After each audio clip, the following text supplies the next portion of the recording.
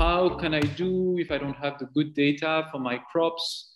So maybe I can share my screen uh, to explain this a bit more. Yeah. If that's okay. Okay, yeah, thank you. We can go back to your screen afterwards. So let me go to the um, to the DACLong project. Going back here to step two, translating to English for everyone.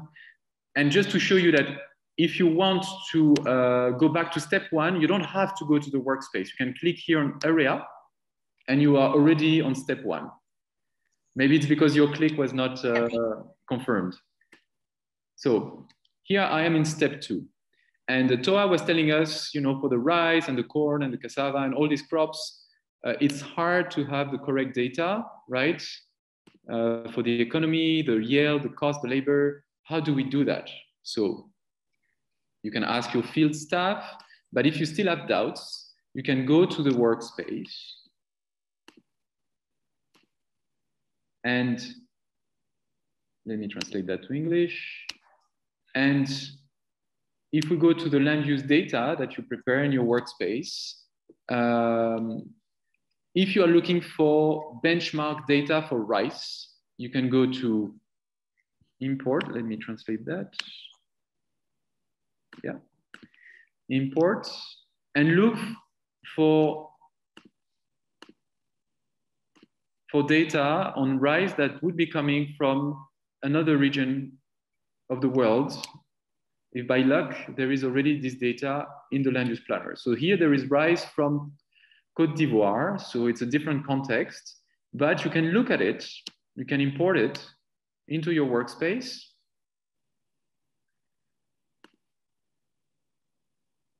And now you have it uh, here. You, don't, you do not only have the, well, in fact, you already imported from Colombia and from Cote d'Ivoire. Now you have two benchmark and you can check, you know, for Vietnam, which one is the closest and you can adjust it by going into the, into the data.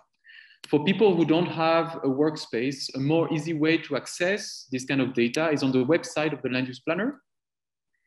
And you go to data, and here we put um, PDF for all the, the data that we have at the moment. So if you want to go to rice, you see here um, four different types of rice.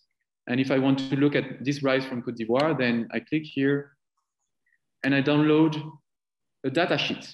So here I can see for this rice in Cote d'Ivoire, they are producing almost a ton per hectare per year. The value is 350 euro per ton.